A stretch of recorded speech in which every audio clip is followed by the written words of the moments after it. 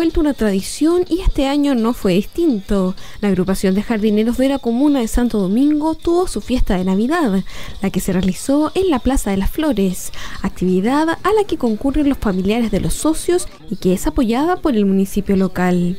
El alcalde Fernando Rodríguez señaló que si bien se realizan actividades con diversas organizaciones, esta es una de las que reúne un mayor número de personas. La Municipalidad de Santo Domingo organiza actividades con todas sus organizaciones a lo largo de todo el territorio y una que siempre es importante por la cantidad de gente que, agrupa, sin duda que es la agrupación de jardineros Santo Domingo, que eh, en forma tradicional se reúnen acá en la Plaza Las Flores y es lo que estamos hoy día siendo partícipe de esta gran actividad donde se reúne la familia de nuestros jardineros. Carolina, una de las participantes, recordó que ella ha participado como nieta de un jardinero y ahora es su hija la que se integra a la fiesta. Es una iniciativa bien bonita porque yo por lo menos he participado como nieta y ahora está mi hija que participa como bisnieta de mi tata y es una actividad muy linda que se realiza porque no en todos lados se, hace.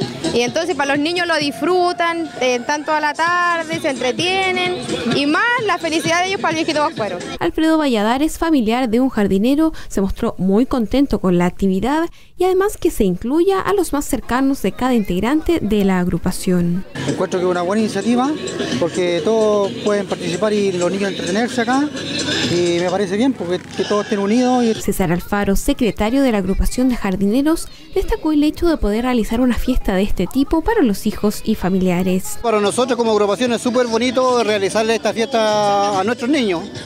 Y bueno, punto aparte, mi primer año como papá, eh, súper orgulloso de saber a mi hijo, que ahí para nosotros es súper bonito darle esta alegría a los niños, pues, que sea regalito, que coman pancito de Pascua, bebida, helado.